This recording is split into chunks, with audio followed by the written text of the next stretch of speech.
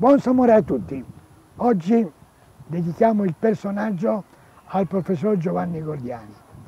Di lui conosciamo un discorso di carattere importante, impegnativo e strutturale come discorso del Parlamento europeo.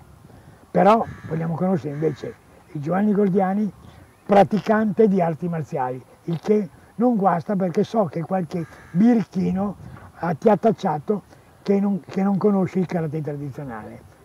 Così dicono, ma la storia, come, come c'è scritto su Samurai, la storia è testimone del tempo. E soprattutto prima si fa e poi si scrive. Prima si fa e poi si scrive, quindi abbiamo avuto la fortuna di iniziare un percorso di, di, di karate tradizionale un po' dopo la nascita di Samurai. Samurai è nata a marzo del 76, io ho avuto la fortuna di avere una palestra a Firenze, in via di Soffiano, proprio a 50 metri da casa e quindi l'interesse che c'era all'epoca per tutto ciò che erano le arti marziali sinceramente non si distingueva tanto, era un film di kung fu, però era un qualcosa di orientale, una bella palestra vicino a casa mi ha portato a praticare un karate tradizionale, quindi se qualche birichino dice che io il karate tradizionale non, io non l'abbia mai fatto, ma insomma forse è testimoniato da, da, da, una storia lunga e ancora oggi quando pratico karate, magari da solo, faccio un karate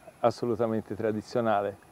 Parlaci un po' del, diciamo, eh, l'arrivo a praticare karate, quando hai conosciuto ad esempio il tuo maestro, possiamo dire il maestro eh, Miura, sì, Miura certo. ma soprattutto il capo della ski di cui poi diventerai presidente per l'Italia, Kanazawa. Maestro Kanazawa, certo, certo. Raccontaci un po'. Io ho, ho, ho iniziato, eravamo, eravamo, tutti Fesica eh, per due anni, poi il maestro eh, Paladini eh, scelse la, la, la, strada di seguire il, il maestro Miura, è stato un percorso bellissimo, intenso ed è durato fino a che il maestro Miura mi ha onorato di questa, di questa, la possibilità di diventare presidente della, della federazione nel 2007. 2008 dove sono rimasto per, per cinque anni e ho cercato di, di, combinare un po' la mia conoscenza dell'arte marziale perché nel frattempo nel 92 ero andato a Bruxelles e nel 92 avevo iniziato insieme al presidente Pantelis Vassilio che è ancora oggi un nostro un nostro membro attivo di Euretics Ezia, abbiamo iniziato un piccolo club di karate amatoriale nel 92 che però diciamo, andava un po' in parallelo a quella che era la mia professione di giurista della Commissione europea.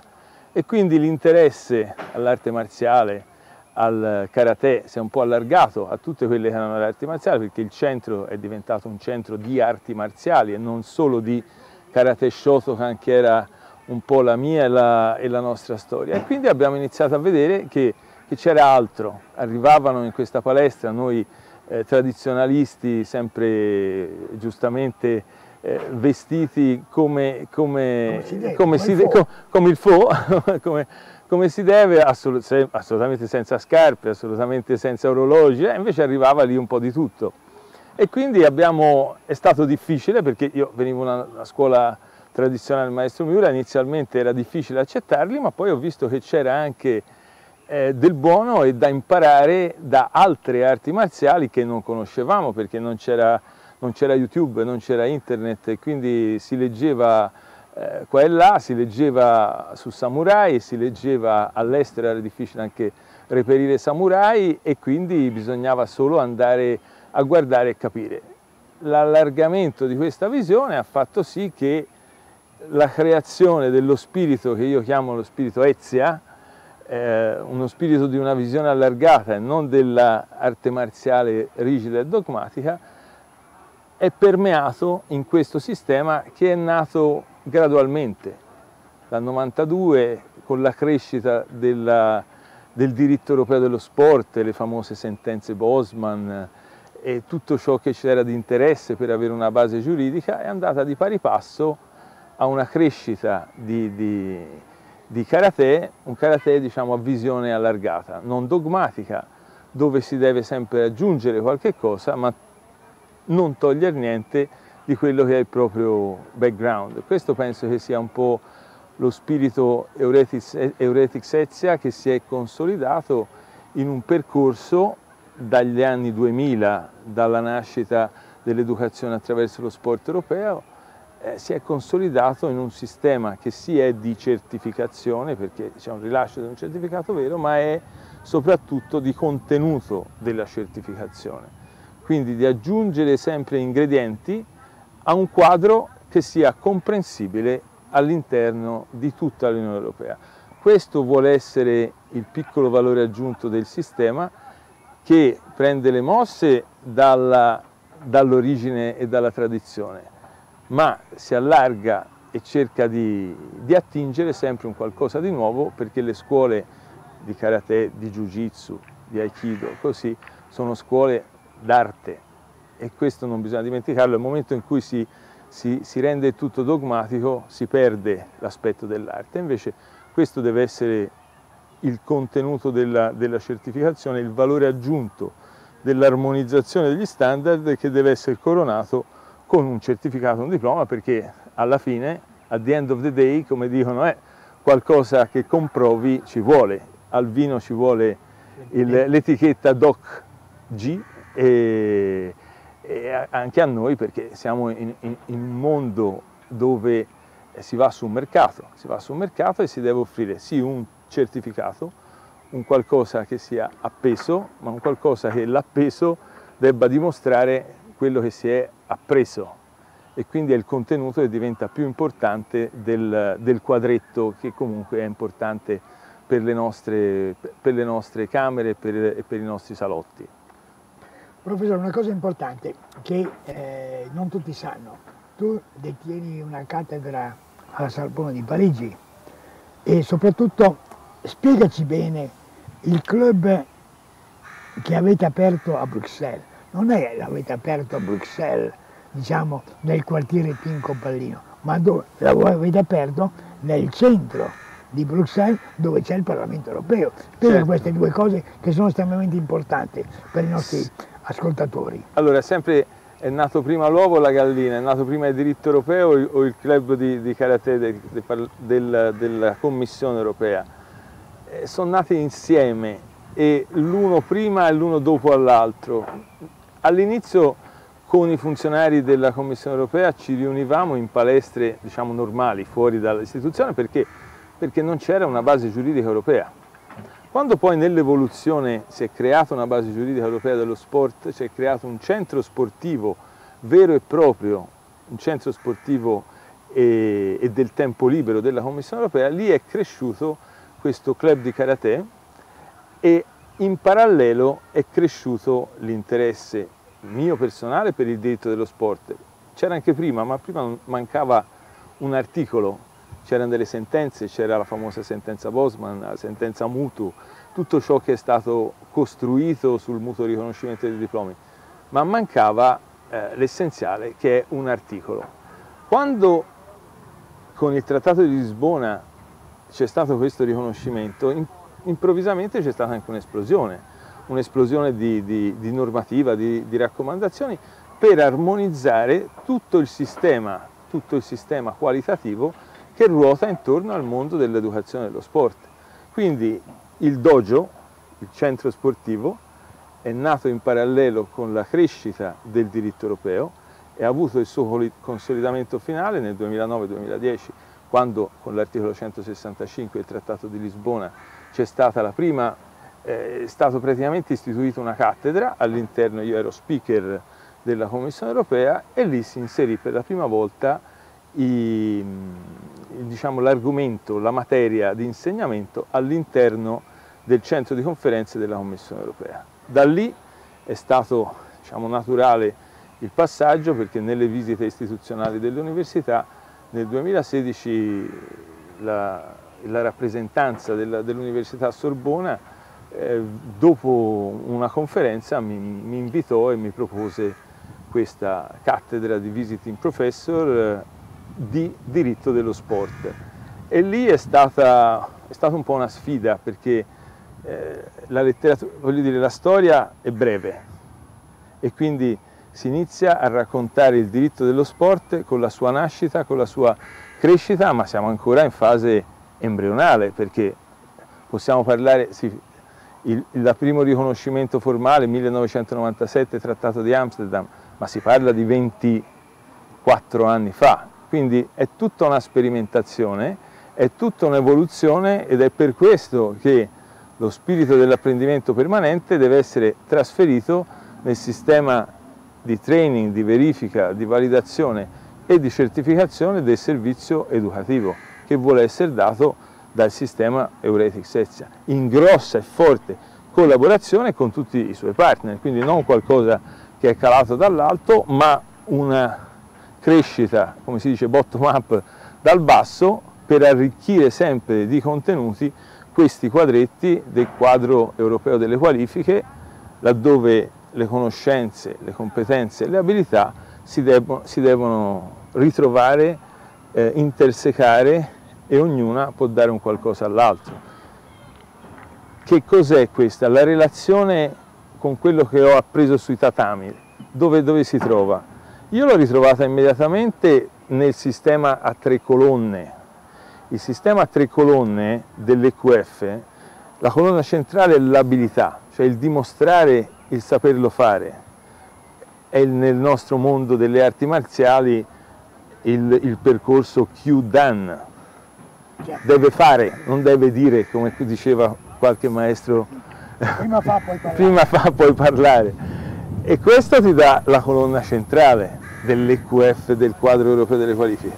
A questo si aggiunge conoscenza, quindi la conoscenza teorica, la cultura, tutta la filosofia, tutto ciò che sta dietro, e la competenza di poterlo trasmettere, quindi il saper, il saper fare, il saper far fare.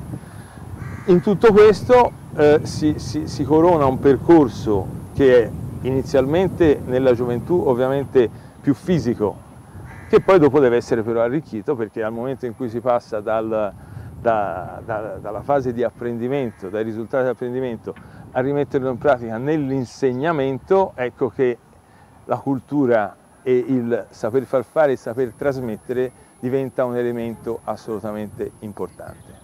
Quindi tu che sei fiorentino, toscano, come ti chiama la parte maledetti toscani, però quello che tu ci hai detto in modo molto eh, ampio e soprattutto chiaro e preciso, eh, lo possiamo legare al sommo Dante. Nati a vivere come bruti, ma perseguire virtù e, conoscenza, e, e, conoscenza nell'Arezzo sì. difficile. Ecco. Comunque eh, sì, eh, bisogna guardare, andare oltre alle, alle colonne d'Ercole e questo forse è stato quello che a 26 anni mi ha spinto ad andare a Bruxelles eh, e, a capire, a intersecare culture perché, per capire che le competenze non vengono da un, da un nucleo originario ma bisogna andare a cercarle da, da, e cercarle tutti i giorni. D'altra parte un uomo di mare ha delle visioni molto ampie degli orizzonti, l'uomo della montagna ha degli orizzonti molto piccoli, quindi diciamo che tu andando a Bruxelles, che il mare non c'è, ma comunque c'è quello che è l'ideologia di 28 paesi, oggi sono 27, il che ti ha allargato la tua mentalità, hai parlato diverse lingue, hai conosciuto gente di, di, di livelli diversi, di, di preparazione eh, sociale, eh, tecnica, operativa e professionale diverse e ti hanno chiaramente galvanizzato se vogliamo. Era anche la bellezza del, del, del centro istituzionale europeo dove, dove sul tatami, nella palestra, dentro si ripete dentro l'istituzione europea, si sta, si sta, tutti insieme, c'è un'interazione molto forte dal, di, da, da, a tutti i livelli, dai, dai funzionari dei, dei, livelli, dei livelli più, più, bassi ai funzionari e dirigenti dei livelli più alti. E questo, e ognuno porta la sua cultura.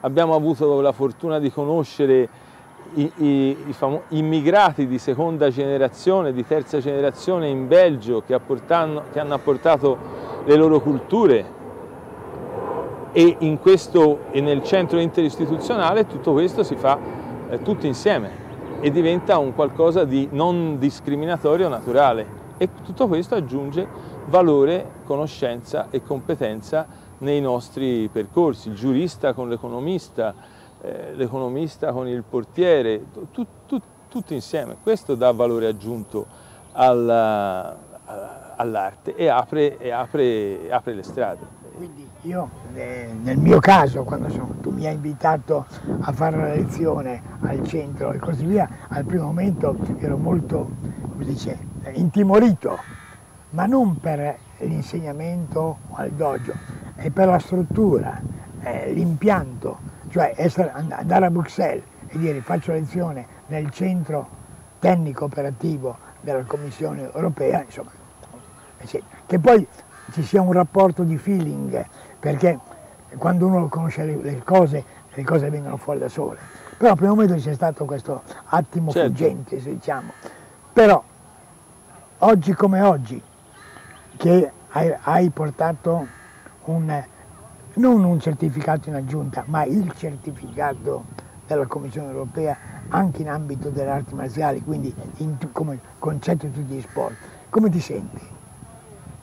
È una, è una sfida quotidiana del, di aggiornamento continuo perché fortunatamente i nostri standard che riflettono quelli europei sono in continua evoluzione e quindi la, se uno si adagia è, è finito e, ed è una responsabilità importante perché cioè, la, da una parte ormai per me c'è una facilità nel comprenderli perché è la mia materia principale, ma dall'altra c'è la difficoltà di trasmetterli e nella difficoltà di trasmetterli c'è un qualcosa eh, che ci dà la sfida di tutti i giorni di dover comprenderlo meglio per poter trasmetterlo meglio. Questo noi siamo agli inizi, abbiamo avuto il riconoscimento come standard qualitativi di alto livello del Parlamento europeo non tanti anni fa, era il 4 ottobre del 2017 e quindi siamo ancora in, ancora in rodaggio, però ormai diciamo, è un rodaggio dove stiamo avanzando senza, senza esitazioni. E ritrovarci e soprattutto ritrovare tutti i nostri partner, tutte le nostre accademie, scuole certificate a tutti i livelli è un grande valore aggiunto perché apporta, apporta ingredienti a queste ricette, se posso, se posso fare una metafora eh, eh culinaria. Noi cerchiamo di attingere alle tante ricette che esistono e a far sì che siano armonizzate per poterci comprendere perché poi da ognuno, da un'arte marziale c'è un qualcosa che si può trasmettere a un'altra. Da sport apparentemente diversi e invece nella realtà si ritrovano tante cose che si possono ritrasmettere. Come tu sai abbiamo il centro outdoor eh, alla Doganaccia sulla montagna Pistoiese nell'Appennino toscano e anche tante esperienze di contatto con la natura e sono, ritrovano le origini delle arti marziali che principalmente venivano praticate all'aperto e dove, dove, i makivara erano alberi, alberi certo, e, quindi, certo, certo. e, quindi, e, quindi, questo ci fa un po', eh, ci fa un po combinare le, le, esperienze e far sì che queste esperienze ogni volta anche, anche aggiungano... A un po' sorridere anche, sì, sì, anche la, sì, sì, ricerca moderna delle cose quando la semplicità era quella che portava le caratteristiche finali cioè, se vogliamo. Sì, sì, sì, questo è. Per concludere la nostra bella chiacchierata, i famosi 30 minuti dei samurai, vuoi parlarci proprio della settimana, della, setti della settimana europea che a fine settembre si svolgerà, quali sono i punti cardini sia per l'Italia che per quanto l'Europa e quali sono le finalità? Dunque, noi quando siamo nati come Euretics eh, Training Academy Etica nel 2014 avevamo già esperienza nell'educazione attraverso lo sport eh, che veniva dalla nascita del 2004 dell'educazione attraverso lo sport, quindi dove lo sport diventa un mezzo, non il fine ultimo, non la medaglia. Nel 2015 è, la, è venuta fuori la prima settimana europea dello sport e ci ha accompagnato un po' nel nostro percorso. Quest'anno, come lo dovevamo già fare l'anno scorso, ma purtroppo siamo stati online per, eh, per, per il discorso Covid, ritorneremo al centro interistituzionale europeo, sempre 23 30 settembre, dove presenteremo le nuove linee guida, i nuovi, i nuovi punti essenziali che in quest'anno e mezzo, che è stato anche un anno e mezzo duro ma anche di, di, di riflessione, si sono apportati a tutto, a tutto, il mondo del coaching, dell'insegnamento, dello sport e dell'attività fisica in generale.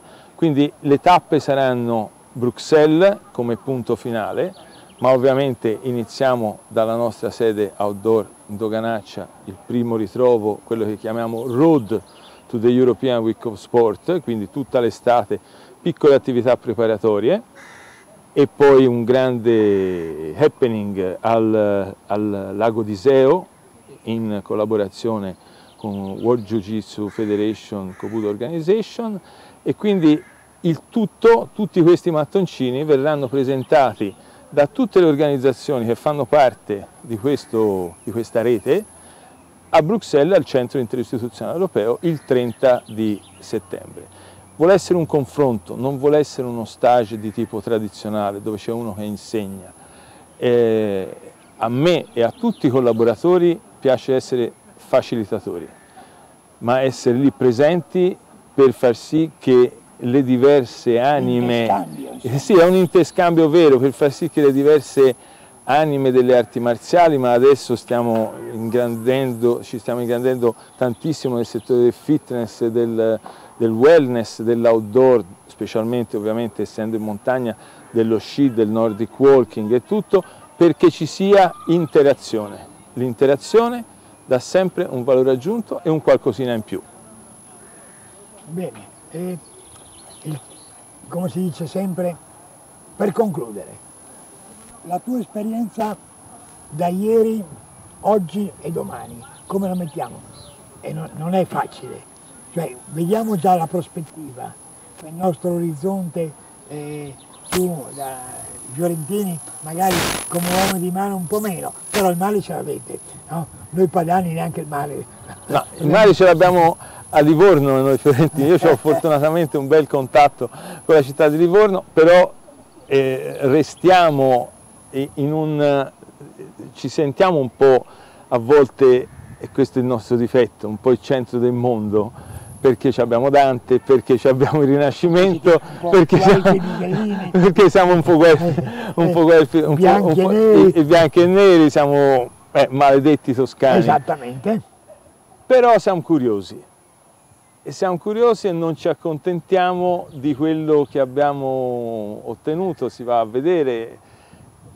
Amerigo Vespucci è andato in America, non è rimasto a Firenze, a Firenze abbiamo l'aeroporto, Amerigo Vespucci, Amerigo Vespucci da Verrazzano è andato in America. E non ha fatto, e non, e non ha fatto il ponte non ha fatto, non ha fatto il ponte non ha fatto il ponte. Quindi ci resta questo diciamo nei, in tutti i difetti dell'essere a volte taglienti e, e maledetti, come diceva Malaparte, ma ci resta questa cosa buona che è la curiosità.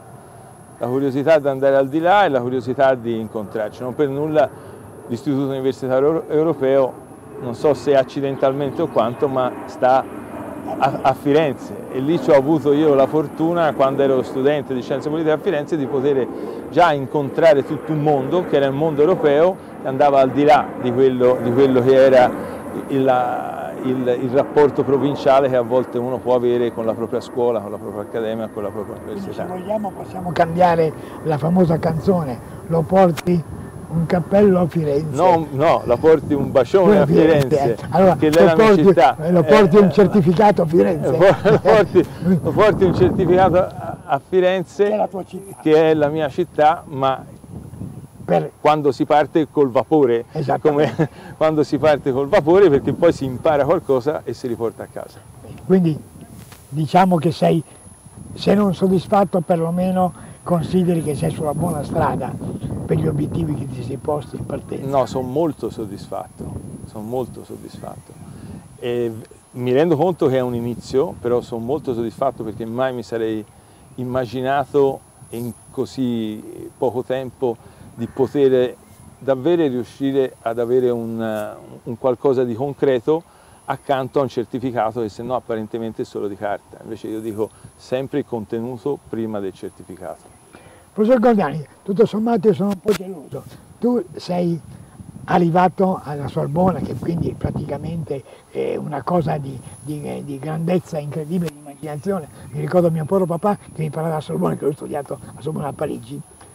Ma io, da ragazzo di campagna, dalla Bassa Padania, ero sotto purtroppo all'ombra della, della statua di Conte Gorino il Conte a Pisa. Quindi, a parte questo piccolo dettaglio, noi ci vediamo prossimamente su questo schermo, come c'è da dire. Buon samurai a tutti perché abbiamo grazie, tante cose da dire. Grazie a voi dell'invito.